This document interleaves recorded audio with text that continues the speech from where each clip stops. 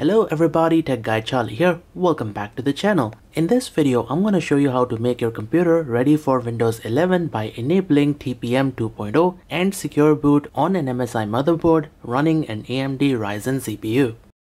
Also, TPM on AMD platform is known as FTPM or Firmware Based Trusted Platform Module. And yes, this works perfectly fine for Windows 11. I'll show you that in just a bit and the motherboard I've got is the MSI MEG X570 Ace. It's paired with a 3rd gen Ryzen CPU.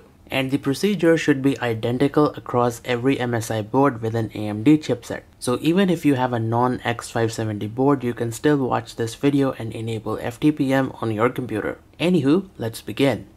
Okay, so the first thing that we need to do is enter into the BIOS. For that, we will restart the computer. Now, as soon as you see this screen, hit the del key on the keyboard and that will take you to the BIOS settings. And there you go, we are now in the BIOS. So the first thing we will do is enable TPM or as AMD likes to call it, FTPM. For that, tap on settings, then go to security, then tap on trusted computing and over here enable security device support. And that's it, that will turn on TPM. Now we need to exit the BIOS, so save configuration and exit Yes. Okay, so now after re-entering into the BIOS, go back into Trusted Computing and it should look something like this.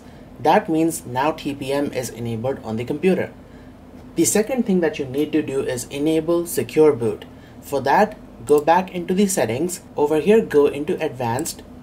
Then go to Windows OS Configuration. Then change this option from CSM to UEFI. Now before you can change the secure boot option, we will need to restart the computer. So save this first and let the computer restart and then we will go back into the BIOS.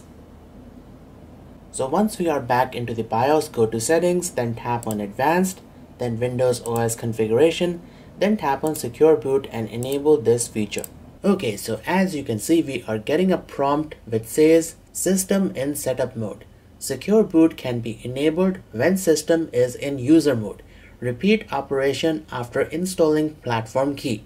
Now the way I was able to fix this is by clicking on secure boot mode and changing it from standard to custom. After restarting your PC, go back into the secure boot mode and change it from custom to standard.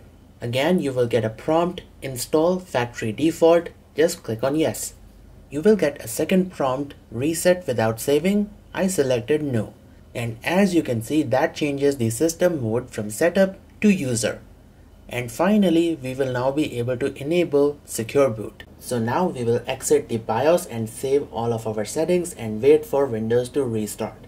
Alright, so we are now back in Windows. Now, how do you check if TPM and secure boot are enabled or not? Well, it is very easy. Press and hold the start menu button and press R to open up run. Now to check if TPM is enabled or not, type in tpm.msc and hit enter. And in this window, you should see the TPM is ready for use. That means TPM is enabled and ready to go. And it says over here specification version 2.0. So it is TPM 2.0 manufacturer AMD. And finally to check secure boot, again press the start button and hit R. Now type in msinfo32 and hit enter. Now in this window under secure boot state, it should say on. That means secure boot is now enabled on your system. And that is it. Now we can install Windows 11 on this machine because secure boot and TPM both are now enabled. So check this out guys, after enabling those two features, I was able to install Windows 11 without having any issues.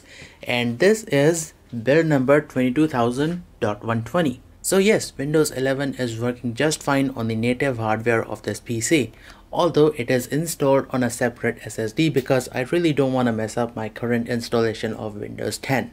But I wanted to show you guys that FTPM does work fine for Windows 11. Anyways, thanks for watching this video guys. If you have any questions, leave them in the comment section down below and I'll try and answer them. And if this video was helpful, make sure to hit the like button and subscribe for more content. Thank you for watching and I'll see you guys next time.